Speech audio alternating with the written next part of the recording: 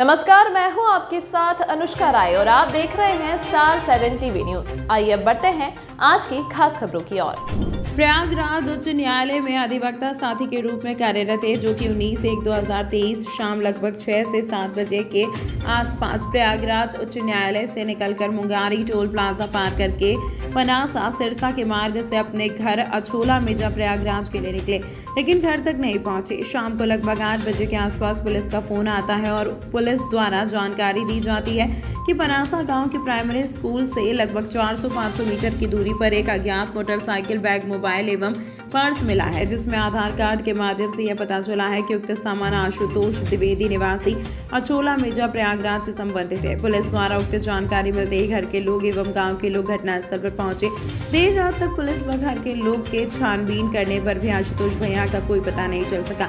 घटना को लगभग छत्तीस घंटे हो चुके हैं, लेकिन अभी तक कोई सुराग नहीं मिल पाया है। आशुतोष भैया का अपहरण करके कहाँ ले जाया गया? अतः आप सभी से विनम्र निवेदन है कि इस पोस्ट को गंभीर रूप से लेते हुए शेयर करें।